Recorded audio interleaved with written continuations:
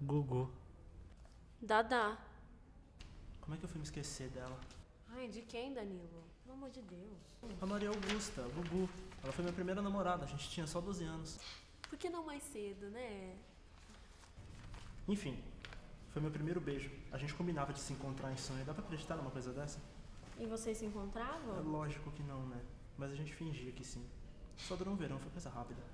Tá, e aí? Bom, depois da Gugu. Teve a Sulamita. Você namorou uma sulamita.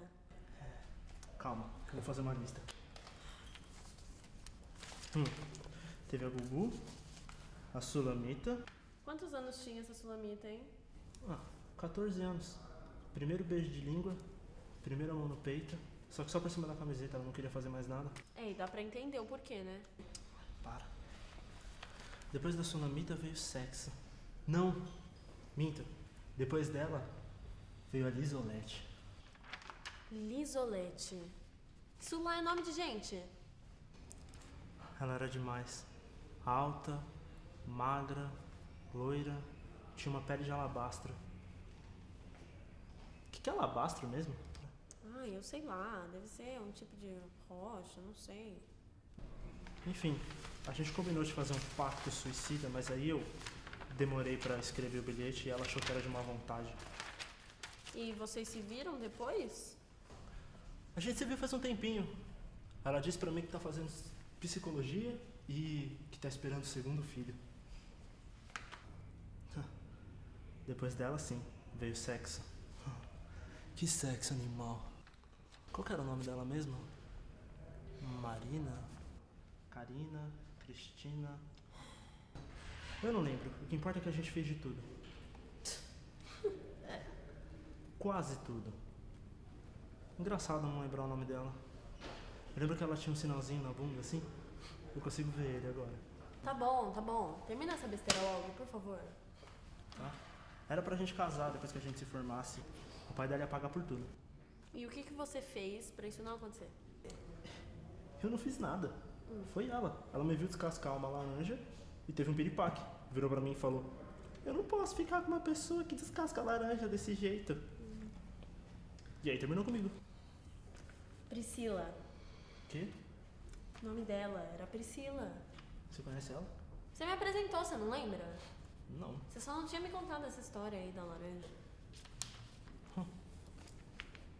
Enfim. Depois dela veio a Jéssica, a boliviana franqueira. Essa eu não esperava. É, nem eu. Ela era demais. A gente se conheceu no colégio. Ela tinha uma bunda e um peito, assim. Mas ela ficava rebolando pra todo mundo. Aí um dia eu reclamei que não queria que ela fizesse isso. Sabe o que ela fez? Jogou um abajur na minha cabeça. Engraçado pra você, né? Ai, não teve uma Isa? Isso, a Isa. Ela era plantonista do cursinho que eu fazia. Plantonista. Quantos anos você tinha? Não importa, eu tinha o suficiente. Ela até me ajudou a escolher a faculdade que eu ia fazer. Era legal porque a gente transava em várias salas diferentes. Sempre em pé. Ela nunca tirou o vestido, nenhuma vez. E ela também não era muito bonita, mas eu gostava muito das pernas dela. Ela usava meias pretas. Era bizarro, ela rosnava quando eu tinha um orgasmo. Rosnava. Era assustador. Ai, eu imagino. Lembrei de uma, você não vai acreditar, é ridículo. Era uma menina que miava quando a gente transava. Ela miava, dá pra acreditar nisso? Era a coisa mais besta do mundo. Me chamava de meu gatão, toda melosa, e ficava lá miando, miando. Qual que era mesmo o nome dela? Era eu, Danilo. Era eu. Não, não era você. A gente. A gente nem transava antes de noivar. Claro que transava. A gente transava, namorou e eu miava porque você pedia. Vai, era eu. Bota aí o nome na lista. Eu não ia pedir pra você miar. Vai, sim, era eu sim. Ai, Danilo, e você quer saber? Não era o jeito que você descascava a laranja, era o jeito que você chupava a laranja. A Priscila esse tempo todo tinha razão. Eu não sei como é que eu aguentei. Ela tinha razão, viu?